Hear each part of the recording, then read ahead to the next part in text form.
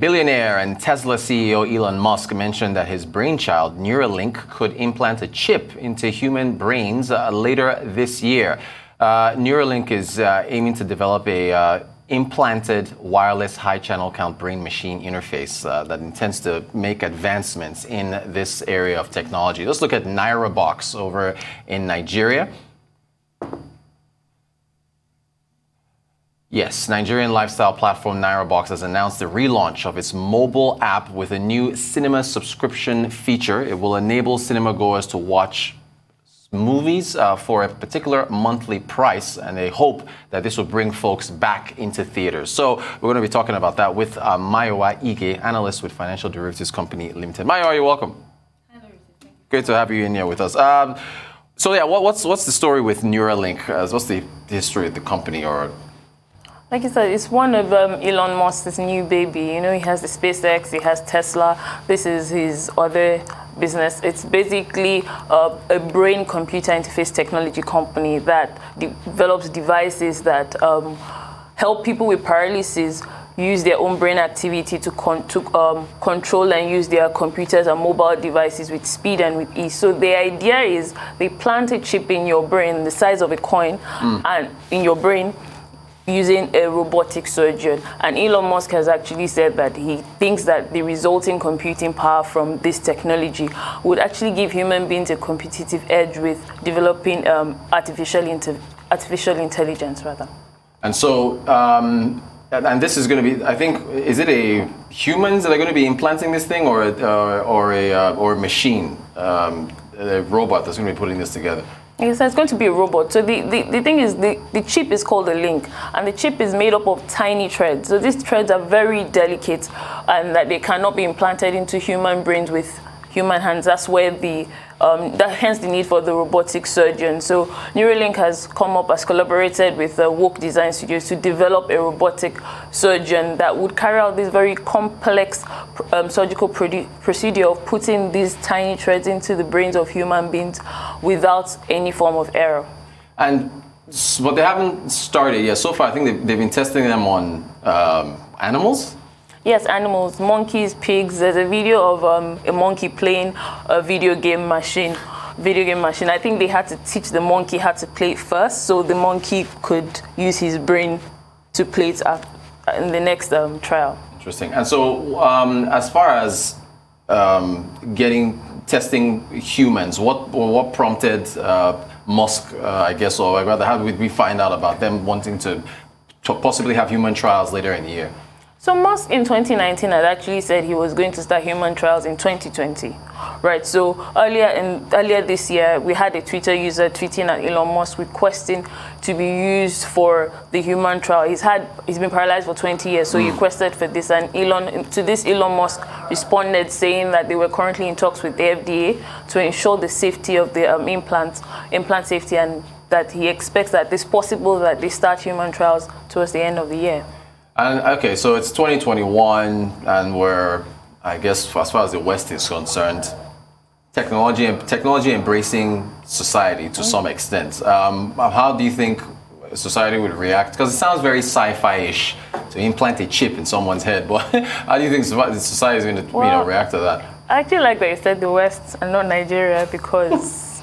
different, not different worlds, yet. right, right. But then in the West, I think it's going to be a mixed reaction, really because there's still this risk of privacy risk and cyber security risk at play here, which would limit um, the acceptance of this technology.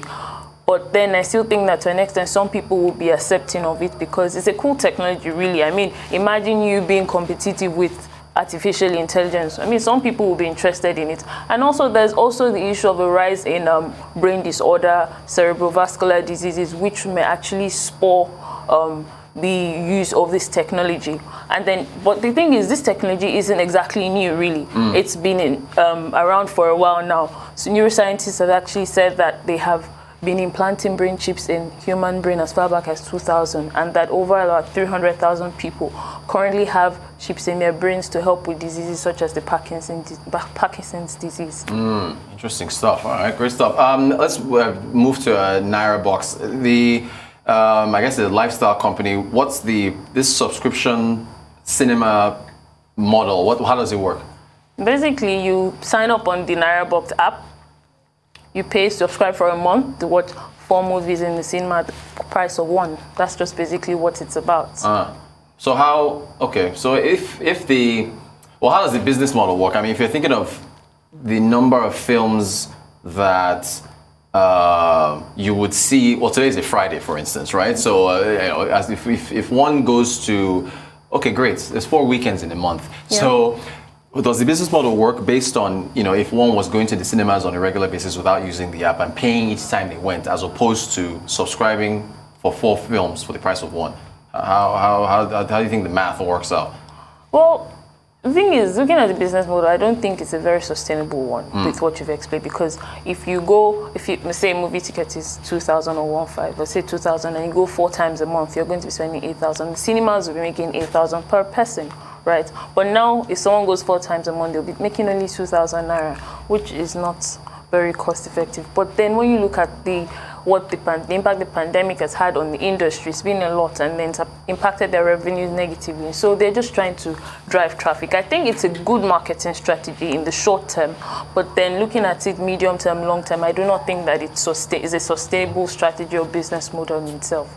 Do you think um, it could it could possibly get people, uh, or rather revive interest or activity as far as going back into uh, the cinemas, uh, you know, this year? Yes, I think to an extent it can actually revive the cinema industry. I mean, look at it.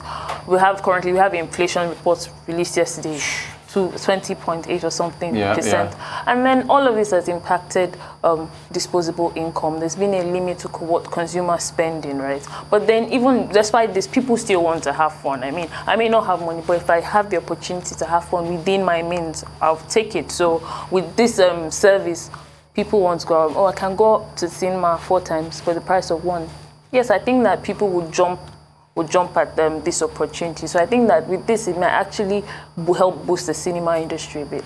Well, what about the competition from the streaming services, the Arise Plays and uh, Iroko TVs and um, Netflixes of the world? What, about competition from streaming? I do not think that the competition will be so high when you look at it from looking at it with, from the average man's perspective, right? Because data is involved with streaming.